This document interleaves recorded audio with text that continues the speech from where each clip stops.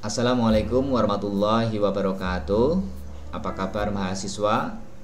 Semoga kabar baik dan sehat selalu. Pada kesempatan ini saya akan berbagi cara menganalisis pada model moderasi dengan pendekatan SEM PLS menggunakan Smart PLS. Berikut adalah data jawaban kuesioner yang sudah ditabulasi menggunakan Excel dan disimpan dengan jenis file CSV atau comma delimited. Jadi penyimpanan e, untuk mengolah data menggunakan Smart PLS ini dirubah terlebih dahulu jenis filenya dengan CSV atau comma delimited. Karena jenis file ini yang bisa dibaca oleh Smart PLS. Tabulasi data jawaban kuesioner ini terdiri atas variabel eksogen kualitas produk disimbolkan dengan KP. Kemudian variabel eksogen promosi yang disimbolkan dengan Pro. Kemudian variabel brand awareness sebagai variabel moderasi yang disimbolkan dengan BA. Selanjutnya variabel endogen minat beli yang disimbolkan dengan MB. Kita buka program Smart PLS. Berikut adalah program Smart PLS. Kita klik dua kali. Kita perbesar lembar kerja Smart PLS. Selanjutnya untuk memulai kita klik New Project dan kita beri nama lembar kerja Smart PLS sesuai dengan nama yang kita inginkan. Di sini saya beri nama PLS moderasi. Selanjutnya kita klik OK. Maka di sini bisa kita lihat terdapat folder baru yaitu PLS moderasi sesuai dengan nama yang telah kita berikan. Kemudian kita masukkan data yang akan kita olah dengan double klik to import data. Kita menuju ke data yang akan kita olah. Kita klik data alisem dengan efek moderasi kemudian kita klik open. Nah ini file sesuai dengan nama file yang ad, yang tersimpan dalam e, PC kemudian klik OK. Nah berikut langsung muncul e, data statistik deskriptif pada Smart PLS di sini kita lihat ini adalah nama indikatornya.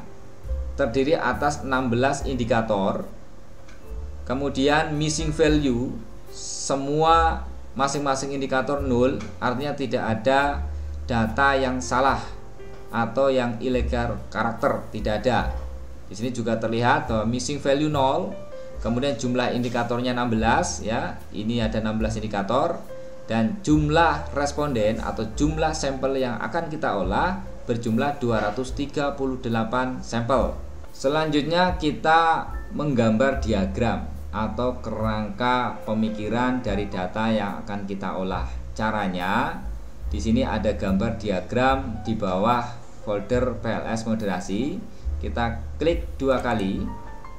Nah, di sini sudah ada lembar kerja Smart PLS yang baru. Kita klik indikator dari kualitas produk yaitu KP1 sampai dengan KP4. Kita blok keempat indikator ini dengan cara tekan tombol shift kemudian klik KP4 nah ini sudah terblok semuanya. Selanjutnya kita klik kiri pada daerah yang terblok. Kemudian kita drag atau kita geser ke lembar kerja Smart PLS kita lepaskan. Nah ini sudah eh, terdapat variabelnya beserta indikatornya. Selanjutnya dari variabel yang lain promosi juga demikian. Tekan tombol shift kemudian klik pro 4 kita drag. Ya kemudian untuk variabel brand awareness sebagai variabel moderasi juga dilakukan sama kita drag. Nah ini e, ternyata hanya dua indikator ya. Saya ulangi lagi. Nah ini full di sini.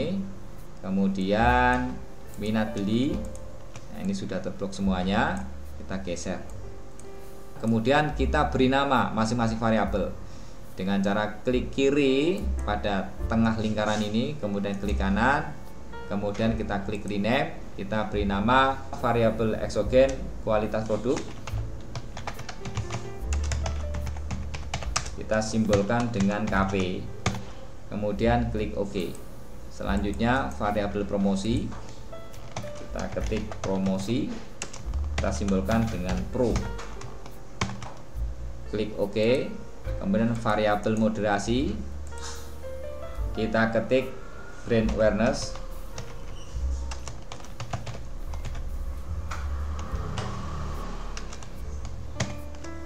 Kita simbolkan dengan BA klik OK kemudian ini variabel endogen minat beli kita simbolkan dengan MB klik OK. Selanjutnya kita koneksikan atau hubungkan dengan garis regresi atau garis pengaruh. Kualitas produk ke minat beli promosi ke minat beli kemudian brand awareness ke minat beli. Di sini brand awareness dua peran yaitu sebagai variabel eksogen dan variabel moderasi. Selanjutnya ini kita netralkan ya dengan klik select. Kita bisa pindahkan indikator-indikator ini sesuai dengan posisi yang kita inginkan. Kita klik saja sini kemudian pilih yang ada di sini. Nah ini atas atau mau di samping pilih ini. Ya kita bisa geser sesuaikan posisi yang menarik ya yang rapi kita buat brand awareness sebagai variabel moderasi dari pengaruh kualitas produk terhadap minat beli. Caranya kita klik variabel minat beli kemudian klik kanan. Selanjutnya klik add moderating effect. Di sini kita perankan moderator variabel kita klik. Sebagai variabel moderasi adalah brand awareness ya. Kita pilih brand awareness. Selanjutnya independent variable di sini kualitas produk ya. Sebagai independent variable kita pilih kualitas produk. Kemudian klik OK. Maka di sini sudah muncul variabel baru yaitu variabel moderating effect yang merupakan variabel interaksi antara variabel kualitas produk dengan variabel brand awareness. Kemudian kita klik OK. Nah, ini sudah kita beri nama ya. Jadi interaksi antara kualitas produk ya dengan brand awareness. Selanjutnya kita buat variabel moderasi brand awareness yang diduga memoderasi pengaruh promosi terhadap minat beli. Caranya klik kiri, klik kanan, kemudian kita klik add moderating effect Nah, di sini ada moderator variabel, kita pilih moderator variabelnya adalah brand awareness. Kemudian independent variabelnya kita pilih promosi atau pro. Ya, selanjutnya kita klik OK.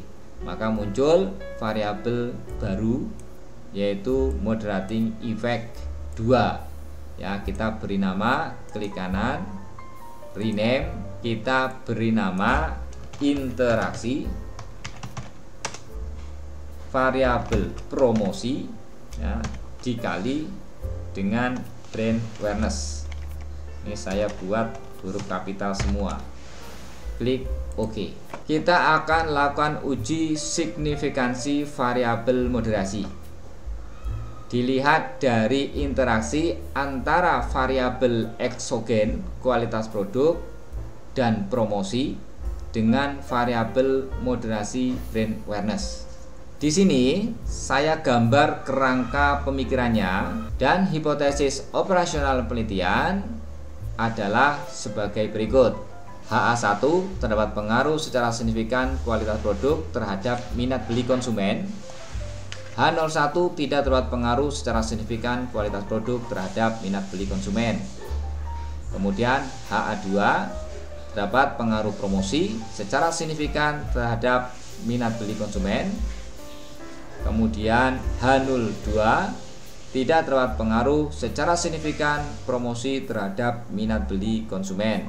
HA3 terdapat pengaruh signifikan kualitas produk terhadap minat beli konsumen dengan brand awareness sebagai pemoderasi.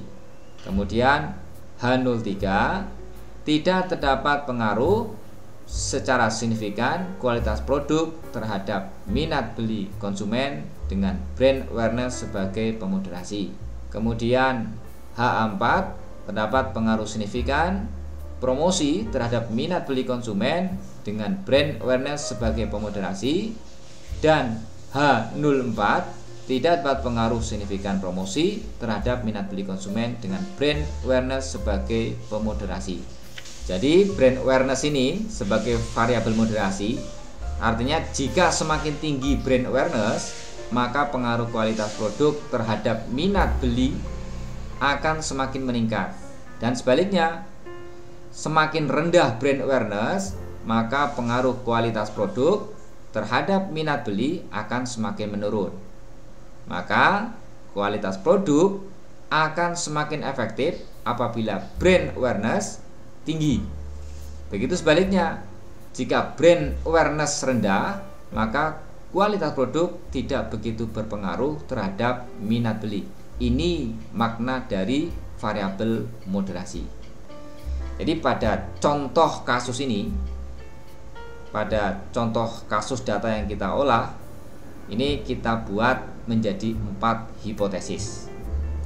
Adapun hipotesis operasional ini terdiri atas hipotesis alternatif atau HA dan hipotesis nul atau H0. Nah, hipotesis alternatif merupakan hipotesis kerja yang handal secara teori maupun bukti empiris. Sedangkan hipotesis nol ini merupakan hipotesis yang kurang handal sebagai pembanding yang bersifat objektif dan netral dan menjadi penyeimbang dari hipotesis alternatif atau HA. Setelah gambar model penelitian dibuat, langkah selanjutnya kita buat analisis outer model dengan kita lakukan proses kalkulasi algoritma. Caranya kita klik calculate, kemudian kita pilih klik PLS algoritma. Di sini patch biarkan saja. Selanjutnya kita klik start calculation. Nah ini outputnya. Selanjutnya kita interpretasi. Kita lihat outer loadingnya. Di sini kita klik outer loading. Nilai loading faktor 0,6 ini masih bisa diterima. Artinya jawaban dari butir kuesioner secara validitas konvergen masih dapat menjelaskan variabel latennya sehingga indikator KP4 dan indikator Pro 4 ini tidak perlu kita hilangkan. Baik, kita lihat nilai AVE-nya dengan klik Construct Reliability and Validity. Nah, di sini terlihat bahwa nilai AVE semua di atas 0,5 sehingga dapat disimpulkan bahwa butir pertanyaan atau butir pernyataan yang merupakan indikator dari masing-masing variabel laten valid secara konvergen. Untuk melihat uji validitas diskriminan, kita klik diskriminan validity. Kemudian kita lihat pada nilai Fornell Laker criterion. Di sini nilai Fornell Laker criterion dari variabel brand awareness nilainya adalah 0,901 ini lebih tinggi dibanding dengan nilai korelasi antara variabel brand awareness dengan variabel laten yang lain. Kemudian kita lihat uh, uji validitas diskriminan dari nilai cross loadingnya. Di sini bisa kita lihat bahwa korelasi konstruk dari kualitas produk dengan item pengukuran kualitas produk itu sendiri nilainya di sini kualitas produk 0,815 ya dari indikator KP1. Nilai 0,815 ini lebih besar dari korelasi variabel interaksi maupun variabel promosi dengan item pengukuran kualitas produk dan seterusnya sehingga bisa diartikan atau disimpulkan bahwa data valid secara diskriminan. Selanjutnya kita juga bisa melihat dari nilai HTMT atau heterotrite monotrite ratio. Di sini nilai HTMT semuanya lebih kecil dari 0,9 sehingga bisa dinyatakan bahwa data valid secara diskriminan. Kita klik construct reliability and validity. Di sini terlihat pada tabel bahwa nilai krombah alpha di atas 0,7 sehingga dapat disimpulkan variabel dalam penelitian ini sudah reliable.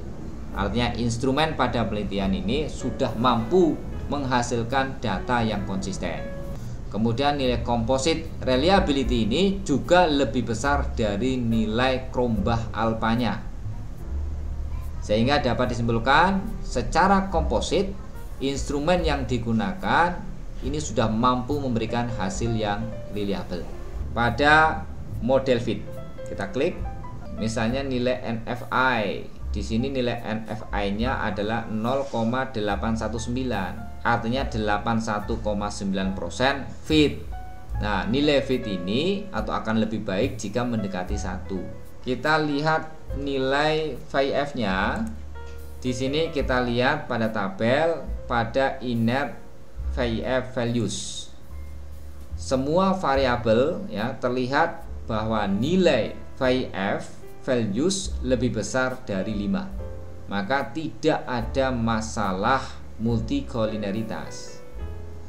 Nah, kalau kita lihat pada outer VIF values ini terdapat nilai merah pada MB3 ya sedangkan yang lain ini warna hitam ya di atas tiga ini sudah e, warna hitam.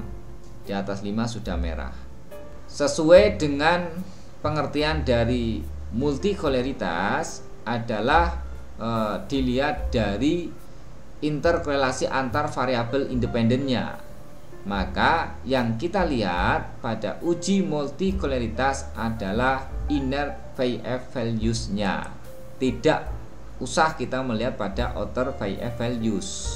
Kita lihat R square-nya dari model yang dibangun nilai R square dari variabel minat beli sebesar 0,544 ini dapat dijelaskan bahwa perubahan variasi variabel minat beli dapat dijelaskan oleh pengaruh variabel eksogen kualitas produk, promosi, dan brand awareness yang berperan sebagai variabel eksogen secara simultan sebesar 54,4% termasuk dalam kategori moderate ya. Bisa dilihat di e, kategori dari R square. Dan sisa dari 54,4% ini ini merupakan sisa pengaruh yang bersumber dari variabel eksogen di luar penelitian.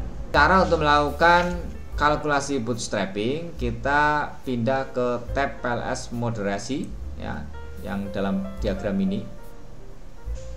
Kemudian klik calculate kemudian pilih bootstrapping.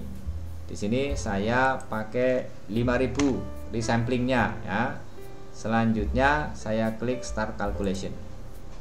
Kita tunggu. Di sini kita bisa lihat dari nilai original sampelnya sebagai nilai koefisien regresi dari variabel eksogen di mana pengaruh langsung dari kualitas produk terhadap minat beli dengan nilai koefisien regresi 0,184 dengan arah hubungan positif dan nilai p-value-nya 0,001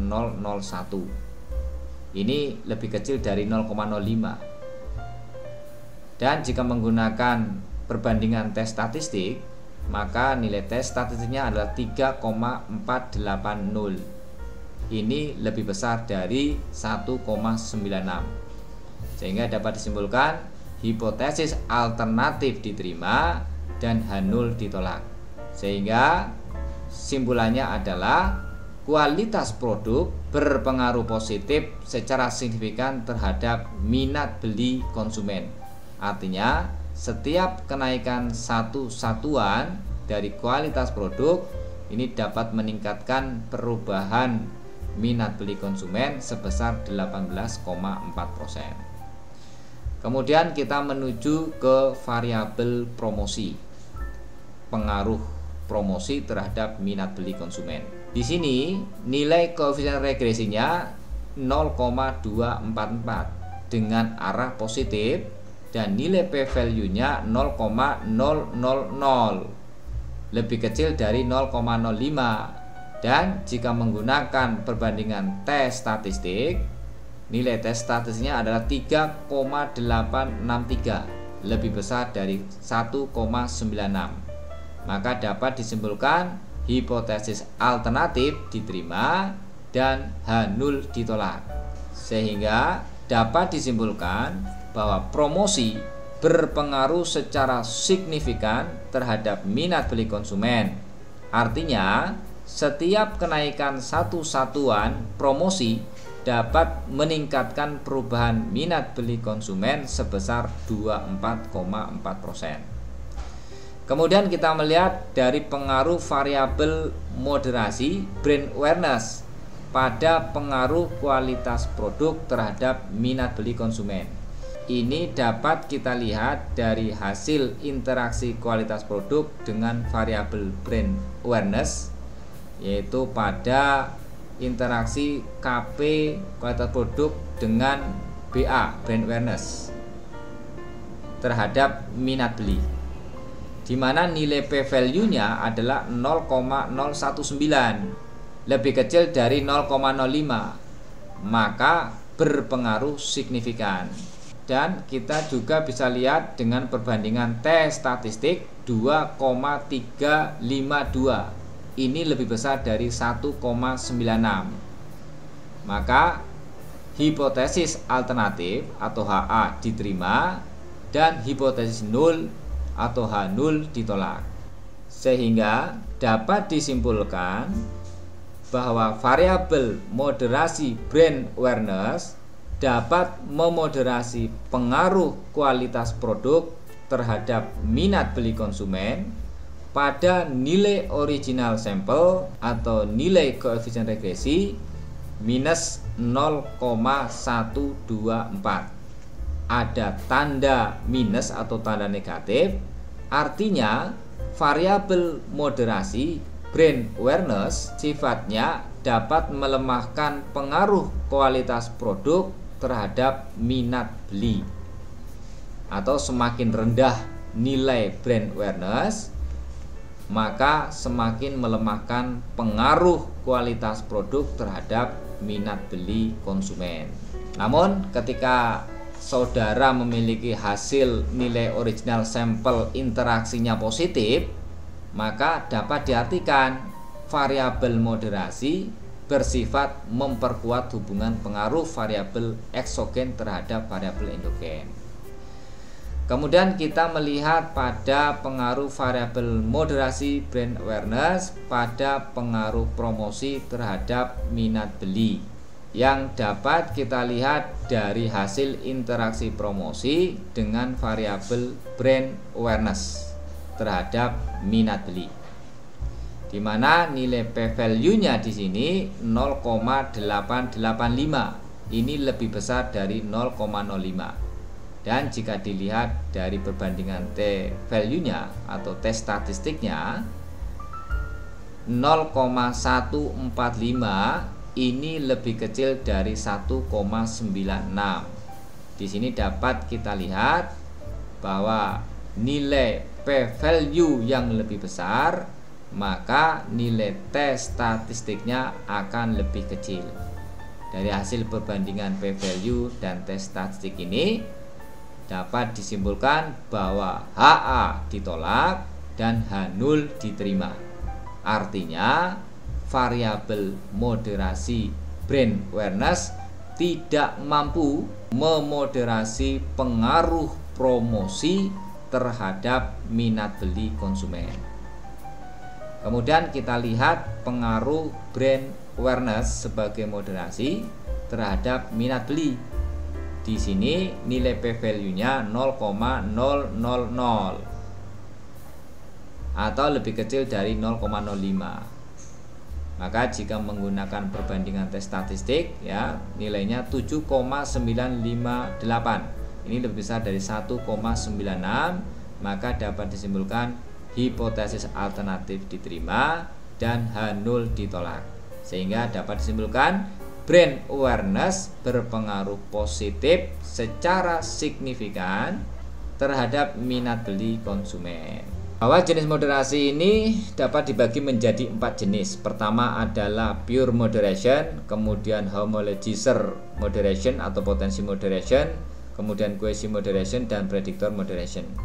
Kita lihat pada hasil bootstrapping pada patch koefisien. Ini saya copy terlebih dahulu, kemudian saya pindahkan di sini. Variabel moderasi brand awareness nilai p value-nya 0,000 lebih kecil dari 0,05 artinya signifikan di sini variabel interaksi kualitas produk dengan moderasi brand awareness terhadap minat beli nilai p value-nya adalah 0,019 artinya signifikan maka masuk ke jenis quasi moderation pada pengaruh kualitas produk terhadap minat beli konsumen.